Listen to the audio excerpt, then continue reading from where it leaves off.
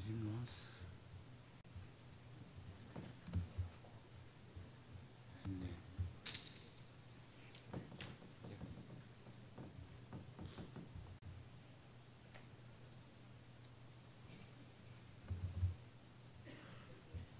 Did it come back? yeah, Yeah. Yeah, that looked good. Thank you. Okay. There we are. Uh, well, I showed the cartoons of yesterday, of course. It was the second day, and it was the 5th of June. And it seemed to be World Environmental Day. Shouldn't it be every day an environmental day? Right, probably that's where the problem started.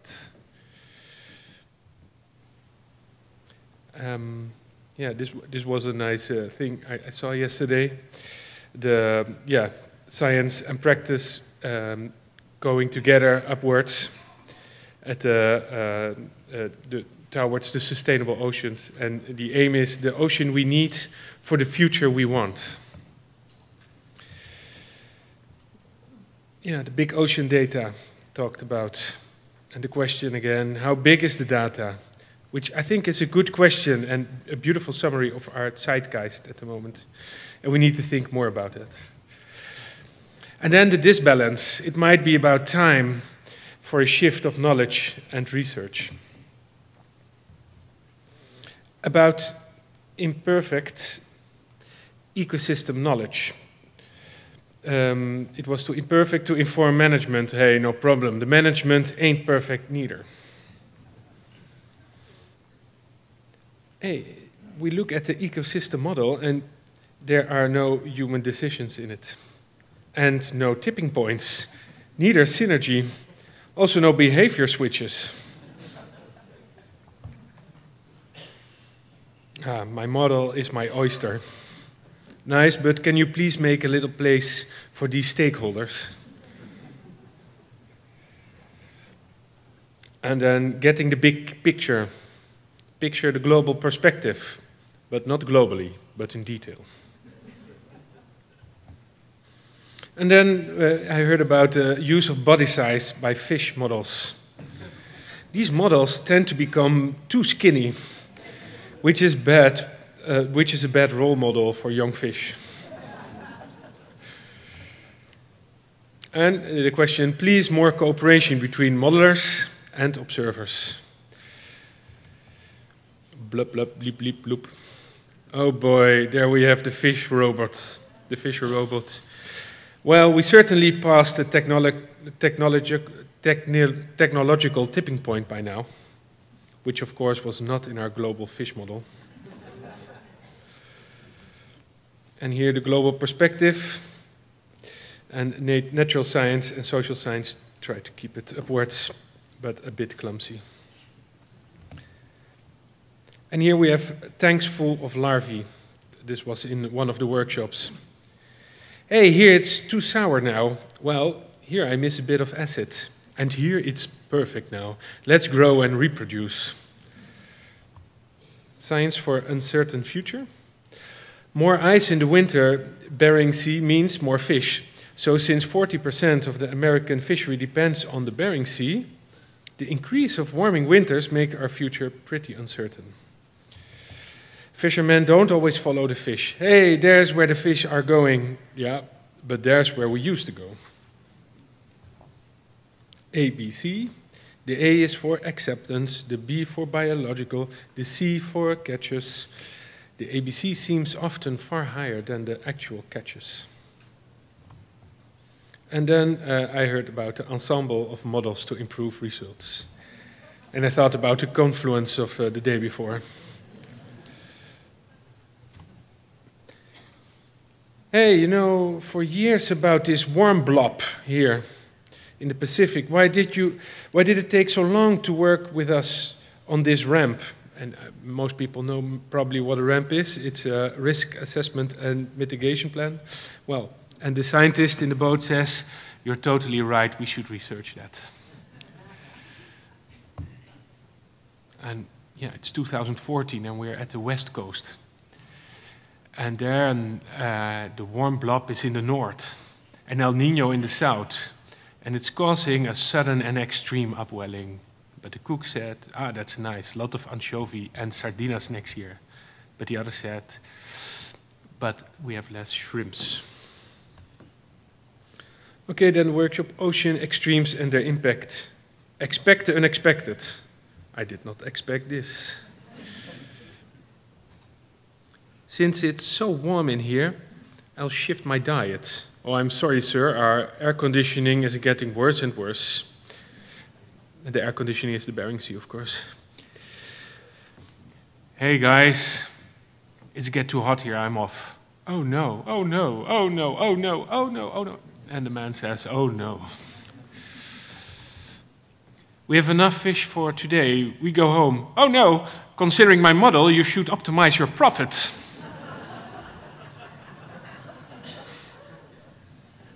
Did you know we are the most traded commodity worldwide? Oh boy, always showing off. Global fish consumption keeps increasing. Oh, nice, more, more, more. And here is the higher temperature, and they result in different reactions. Here's the cod. Well, I'm off. Hasta la vista. And the haddock. Well, I feel totally fine now. Let's reproduce a bit extra. Oh, yeah. If models were reality, the probability of a fish please. Oh, great, we have lots of possible scenarios. I'll estimate a price for you. and then numbers of lobsters were dropping, and that is a problem. Hey, stop that. And then the last one, the catastrophic transition uh, the case of the North Atlantic herring, catastrophic. I'd rather like to talk about a regime shift, sounds less negative. Mind your audience. Okay, thank you.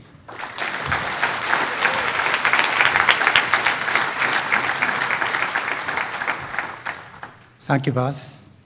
And before I announce today's session and the plenary speakers, uh, it gives me great pleasure to introduce Dr. Howard Browman, uh, the uh, editor-in-chief of the ICES Journal of Marine Science, and the principal research scientist with the Institute of the Marine Research in Bergen, Norway. As you know, Dr. Browman's expertise spans a large range of topics, uh, including zooplankton and ichthyoplankton behavior and ecology, recruitment mechanisms, effect of solar ultraviolet radiation and ocean acidification on aqua aquatic organisms and ecosystems, aquaculture and the impacts of the aquaculture on marine ecosystems, and marine policy. Uh, he has had a long-standing interest and record of service in advancing scientific publications and addressing issues in scientific publication. Serving as an editor of the many major international journals and serving on Council of the Science, editors, and com committees on publication ethics. He has been a champion for prior ECO4 proceedings uh, being published in the ICES journal. So today, uh, he will uh, share information on the special symposium proceedings. So welcome, Dr. Browman.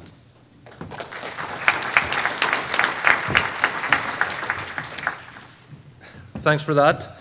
Not quite as amusing as uh, Bas Kohler, I'm afraid. Um, so, uh, well, I'm here to spend about 10 minutes uh, just giving you an update on the uh, the ICES Journal of Marine Science and going through some of the nuts and bolts of uh, submitting to uh, the symposium issue. There you go. So the, uh, the title slide gives you my objectives. So I won't spend any more time on that. And I'll start with some uh, history. In case some of you are not aware of the history of the ICES Journal of Marine Science, it's one of the oldest uh, marine science journals, perhaps one of the oldest scholarly journals. It uh, started publishing in 1903 Between 1903 and 1925, it was published as the ICES Publication de Circonstance, and since 1925 as the ICES Journal of Marine Science. So it's uh, 115 continuous years of publication. Um, I give a, quite a few lectures on scientific publishing, and one of the things that I do in that lecture is ask people to raise their hand if they know the uh, names of uh, the editors in chief of uh, a list of journals that I typically put up on the slide. And when I first did this, well, I guess I was a little bit surprised to find that nobody knew who the editors in chief were. So I take the opportunity to put the table up here of uh, some names that uh, you might know who have been the editor in chief of uh, the ICES Journal of Marine Science. I don't necessarily count myself in the list of names that you might know, but anyways, there it is. So um, the types of articles that the ICES uh, Journal publishes are pretty standard. Uh, original research articles, reviews, uh, food for thought articles, and Quo Vadis articles. Food for thought are just what they sound like, and they're intended to be a little bit provocative. It's better if they are a little bit provocative uh, gets debate going. And Vadis articles are kind of future oriented, where people see the future of a field going. And comments and replies are typically uh, critiques of articles that have been published in the journal, and then the authors get a chance to respond to that critique. Um, in terms of the trajectory of submissions, uh, its date uh, on the x-axis and number of submissions on the y-axis. And you'll see uh, that we're around 600 submissions uh, per year, and uh, that this submission rate has doubled in the last 10 years. In terms of the geographical distribution of authors, uh, unsurprisingly, there are several uh, states, several countries that dominate, uh, not unsurprising ones. Um, but the number, the kind of range and number of countries uh, from which we're receiving uh, submissions has increased uh, quite substantially in the last few years.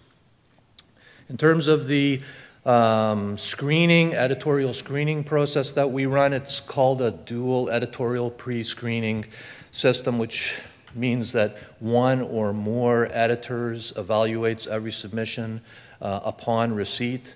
Uh, that means that I read all 600 of those submissions, usually within not all on the same day, within uh, two to three days of receipt.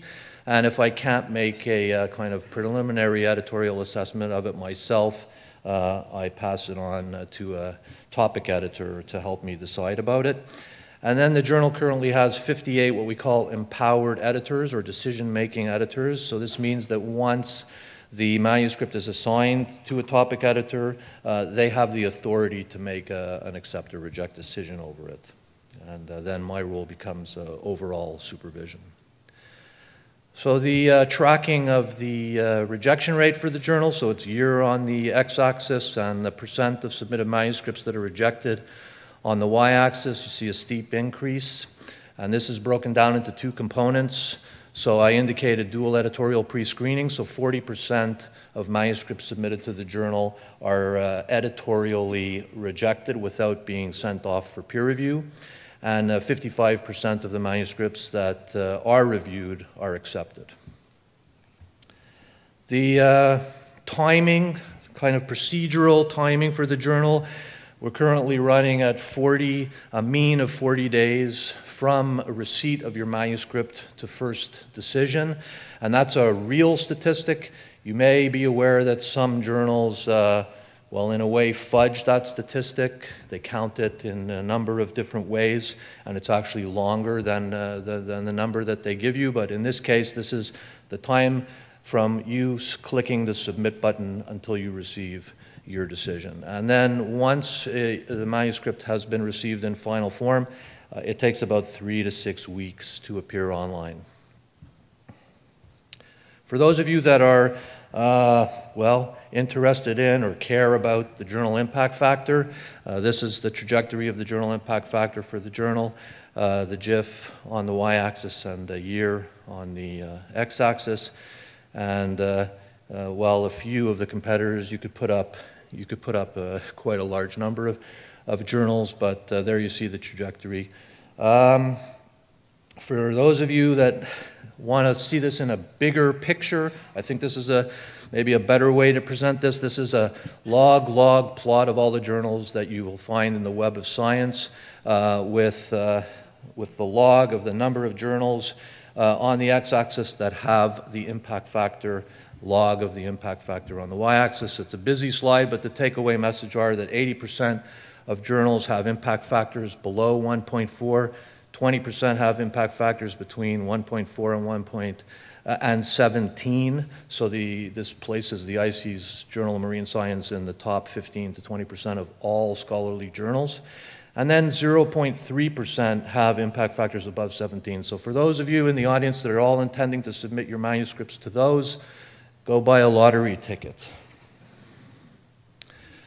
Another, I think, telling statistic to look at in terms of the interest in the journal is the, the number of article views. That's what you see here. So it's PDF and HTML views uh, by year, and you see a very substantial increase uh, in the number of articles being viewed uh, on the journal's website. So uh, I think that's, that's a very healthy sign. So about submitting to the symposium issue, um, when you submit, if you do intend to submit, connect your work to the symposium's main themes. Do that in your cover letter and spend some time in your cover letter uh, telling us about uh, what you think is great about the work um, and why we should be interested in it. Of course, submit online, and uh, you'll reach a point in the online submission process where you can uh, select from a pull down menu uh, this symposium, so please do that. And suggest an editor. We have, as I said, 58 editors, a wide range of uh, expertise. And, uh, you know, take a look at the list and choose somebody that you think uh, would be able to uh, do your manuscript justice in terms of a well-informed uh, assessment process.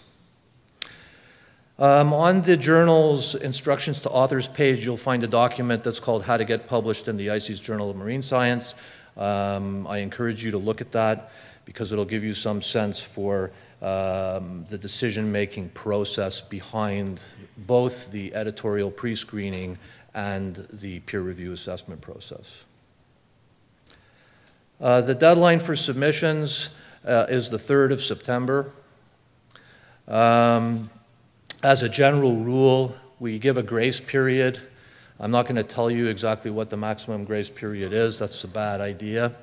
Uh, So shoot for the 3rd of September. Of course, uh, you can submit at any time before the 3rd of September as well. Uh, we all work to deadline, but if you're ready to submit, there's nothing preventing you from submitting today. And uh, the expected publication date of the issue is November 2019.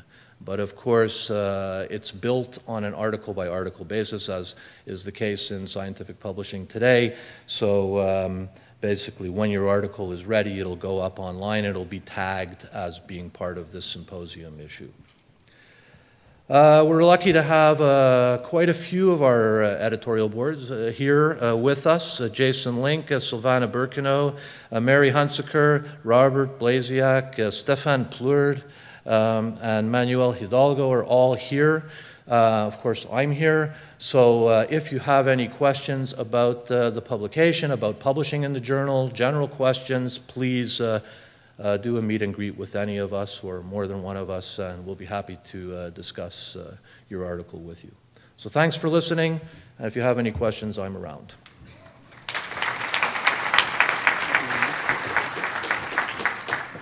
Thank you, Dr. Broma.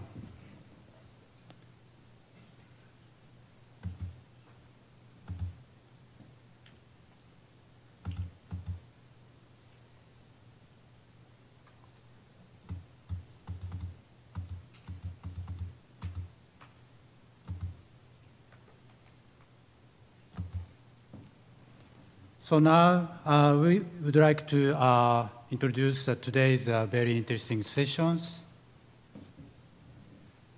And session 14 uh, is a vulnerability and adaptation of the marine socio-ecological systems to climate change, uh, which is convened by Doctors Jon Schmitz, Catarina Frazão Santos, and Cassie Mills. So they will focus on the question, how do we assess vulnerability and uh, adapt to changing marine systems.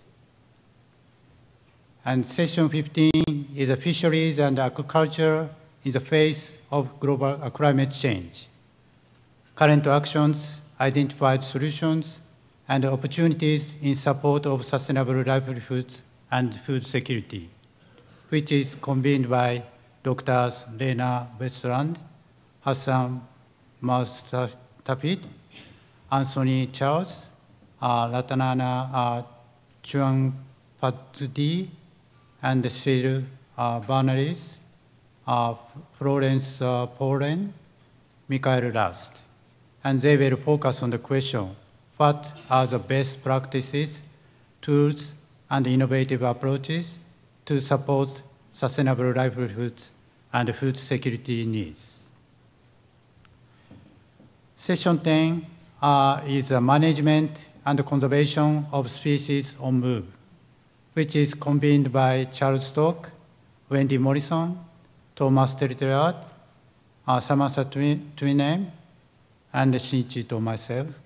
And they will focus on the question, how do we understand and respond to shifting species distributions with changing oceans?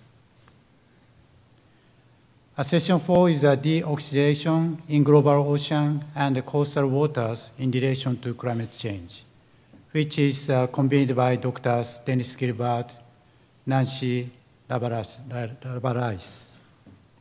And they will focus on the question, how is deoxidation changing? What are future projections? And what does this mean for marine and coastal ecosystems? Uh, this is the last session. So uh, session 18 is a coastal ecosystem and their blue carbon science, conservation and policy progress. Uh, conveners uh, Jon Ramos, uh, Kerstin Visensi, Dorothy Hall.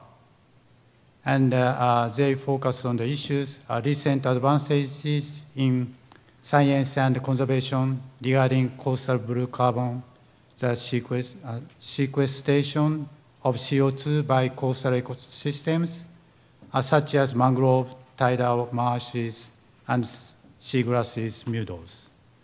Uh, this is a poster session, so today's evening, many interesting posters regarding on this session will be shown. And also last day, we have a plenary talk on this session. So we have a, a very exciting session today. And thank you again for all session conveners for organizing this kind of the very interesting sessions. And thank you again for all the participants and contributions to this, these sessions.